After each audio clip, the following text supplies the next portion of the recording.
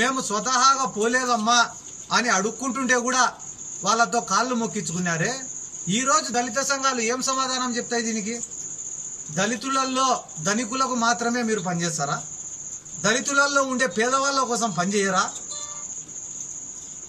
ఏమన్నా అంటే ఈరోజు పొద్దున్న లేచేపటి నుంచి మీరే ఆలోచన చేయండి. ప్రచారంలో కూడా ఎన్నికల ప్రచారంలో కూడా అమ్మా వాళ్ళకు సిద్ధార్థ రెడ్డి గానికి ఓటు వేద్దామా?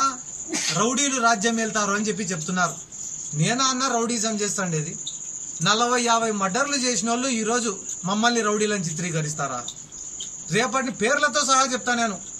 మద్దూరు సుబ్బారెడ్డి గారి మర్డర్ ఎట్లా జరిగిందో చెప్పాలా ఈరోజు ఎవరు చేపించినారో చెప్పాలా మాజీ ఎంపీ గారిని. ఏ కారణంగా చేపించినారో మీరందరూ కూడా గమనించాలా. నందికొట్కూరు నియోజకవర్గంలో రాక్షస పాలన జరుగుతుందని ఒక విలేకరి న్యూస్ ఐటెం రాస్తే ఆ విలేకరిని చంపినది కూడా బయటికి రానిలే. ఈరోజు మా పక్క గ్రామం నెహ్రూ నగర్. ఆడ ఇద్దరు వ్యక్తులను చంపినారు. బొల్లవరం గ్రామానికి సంబంధించిన వాళ్ళని చంపినారు. నాగలుటి గ్రామానికి సంబంధించిన ఒకరిని చంపినారు.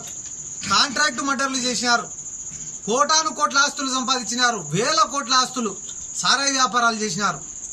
టేకు వ్యాపారాలు చేసినారు. ఇటువంటి అలిగేషన్స్ అన్నీ ఉన్నటువంటి వ్యక్తులు ఈరోజు సొంత గ్రామం ముచ్చుమరిలోనే ఓడిపోతే వాళ్ళ ఉనికి ఎక్కడ కోల్పోతామో రాజకీయంగా భవిష్యత్తు ఉండదేమో అనే ఉద్దేశంతో ఈ రోజుటి వరకు గొడవలే లేవు మా ఊర్లో. ప్రశాంతంగా ఎవరిపాటికి వాళ్ళు క్యాన్వాస్ చేసుకుంటున్నారు. ఎందుకు ఘర్షణ జరిగింది ఈరోజు మీరందరూ కూడా గమనించాలా? ఈరోజు పొద్దున్నే కూడా మధు అనే పిల్లోడిని ఎత్తుకపోయి స్టేషన్లో కూర్చోబెట్టినారు. దేనికి? బుజ్జి అనే ఒక ఒక అతని పైన దాడి చేసినాడనే ఉద్దేశంతో. స్నేహితులతో కూర్చొని తాగి తొమ్మిది గంటలకు నాకే కాల్ చేసినాడు. ఎక్కడుండవు? ఏం చేస్తానో? ఏం నాతో మాట్లాడాలని తెలీదా? ఏమనుకుంటానో నీ గురించి అనే లెవెల్లో నాతో ఫోన్లో మాట్లాడినాడు. ఇది నేనేమి ట్యాంపర్ చేసేది కాదన్నా నా కాల్ డేటా తీసినా మీకు బయట పడుతుంది. వాయిస్ కాల్ తీసినా బయట పడుతుంది అవన్నీ కూడా. రికార్డెడ్ ఎవిడెన్స్లు అవన్నీ.